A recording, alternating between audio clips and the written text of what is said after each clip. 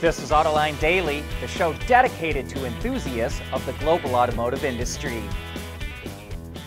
Tesla said it's laying off 10% of its workforce because of, quote, hiring inefficiency due to rapid growth. But there's a number of key people included in those leaving the company. Most importantly is Drew Baglino, who's the head of powertrain and energy engineering and led projects including 4680 battery cell production and the cathode factory at Austin, Texas. He was one of four people listed in the leadership position on the company's website, right next to Elon Musk. One of Baglino's senior managers at the cathode factory is also out the door, as is Tesla's head of policy and business development, and several other members related to a data center expansion in Austin. It's reported that most of these projects have seen delays, which is likely the reason for the moves, but it also likely means that Tesla is behind on development of those projects. There's a battle brewing between Stellantis and its suppliers. Crain's Detroit Business reports that at least two Tier 1 suppliers in the U.S. have stopped shipping parts to the automaker because of disputes over prices. Suppliers are seeking cost relief from inflation from Stellantis, but it's refusing to pay for any increases in the cost of parts. The automaker filed lawsuits against the suppliers to force them to start shipping parts. In one case in February, a judge ordered a fastener supplier to resume shipments because it caused the shutdown of Stellantis' Toledo assembly plant. But in a separate case, a judge this month denied the automaker's motion to force a supplier to resume shipments of gears and pinions needed to make transmissions. Because of that, Stellantis may be forced to shut down more plants. And if the supplier doesn't resume shipments, the automaker claims the financial impact will be, quote, catastrophic and cause tens, if not hundreds of millions of dollars in damages. General Motors is getting a new home. The automaker announced it's moving out of its headquarters at the Renaissance Center in downtown Detroit to the new Hudson Detroit building next year. This is GM's fourth headquarters in Detroit since 1911. GM has invested more than a billion dollars into the Renaissance Center complex since it acquired it in 1996. But GM's workforce in the city has dwindled from 5,900 employees in 2018 to just 2,800 last year so it didn't need all that extra office space and decided to move to a new location. Nissan is making progress with solid state batteries. It showed off the continuing work it's doing on a pilot line for all solid state batteries at one of its plants in Japan. The company says it's aiming to launch vehicles with these batteries by 2028 or 2029. Intrepid's NeoVi Pi, allowing automotive engineers to interface capture, and monitor vehicle data using Raspberry Pi.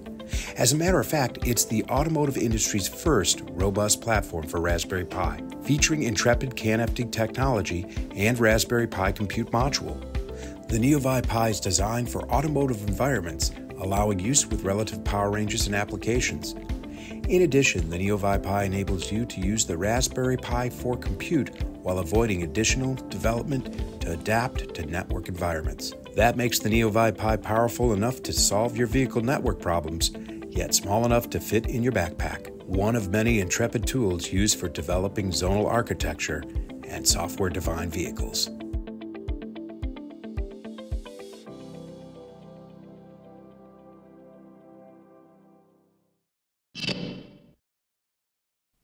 Concepts that Honda first showed off in 2021 have inspired a new lineup of EVs that will launch this year in China. The Ye series clearly takes design cues from the e:N concepts that it revealed three years ago, and the result is a look that's much different from Honda's current cars. The models will ride on a new dedicated EV platform that was developed in China. The P7 and S7 SUVs, which go on sale before the end of the year, will be offered in a single motor rear wheel drive setup or as a dual motor all wheel drive model. The next Ye Series car will come out before the end of 2025 and will be a production version of the GT concept. While it calls it a concept, I don't think the production GT will be that far off from this car. However, there's virtually no details on the car at the moment. But in all, Honda says it will launch six Ye Series models in China by 2027. Like many other automakers, Maserati isn't making the transition to electric as fast as it thought it would just a few years ago, but it's still showing off its next all electric car, a BEV version of the GranCabrio.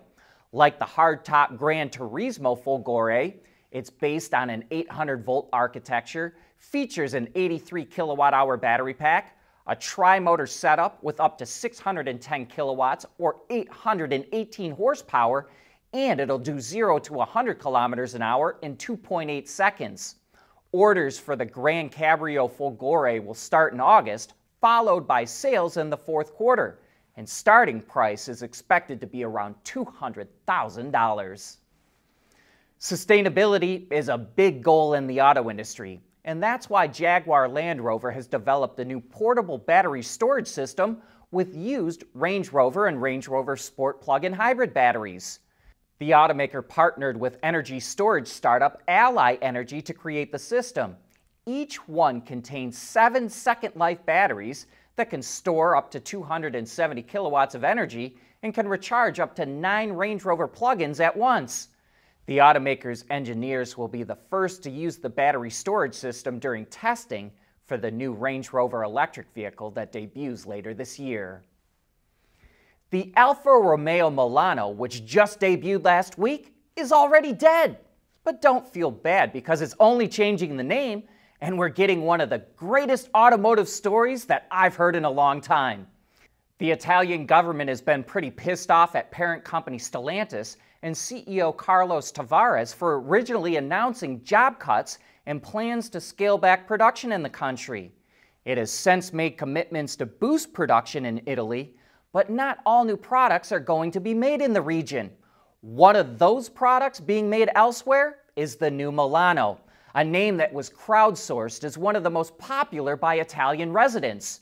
It was announced that it will be made in Poland, and then Tavares ticked off the Italian government even more by saying it would cost 10,000 euros more if the Milano had been made in Italy. So, the Italian government turned to a law that was enacted in the early 2000s that prohibits the use of foreign made products from using Italian sounding names. Officials came out after the Milano's debut saying that the name violated the law. So, Alfa obliged and it changed the name to Junior. It's used that name Junior for past models from the 1960s to the 1970s, and it was another favorite of those crowdsourced names. The company says it would also like to thank the Italian government for the free publicity brought on by the debate. And this reminds me of another story that's come out during my lifetime, and that's why Volkswagen has Bentley and why BMW has Rolls Royce. In the late 1990s, VW chairman Ferdinand Piëch went on a buying spree trying to corner the market on luxury brands. That included paying $780 million for Rolls Royce and Bentley, or at least what he thought was Rolls Royce. At the time, BMW and Rolls Royce, the jet company, collaborated on making jet engines. And BMW's then CEO knew that Rolls Royce, the jet company, actually owned the Rolls Royce name. So he waited as Piëch paid all that money and he quietly cut a deal to legally get the name for 65 million bucks. Even so, Piëch was so impressed that he eventually hired that guy as VW CEO, a dude named Bernd Pischetsrieder. But that's a wrap for today. Thanks for tuning in.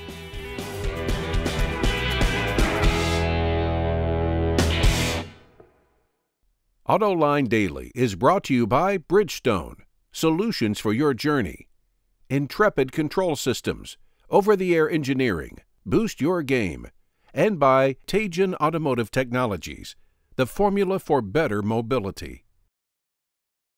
At Teijin Automotive Technologies, we combine world-class composite materials expertise with cutting-edge designs because frankly, there are better ways to lightweight vehicles. So lighten up with Teijin Automotive Technologies, the formula for better mobility.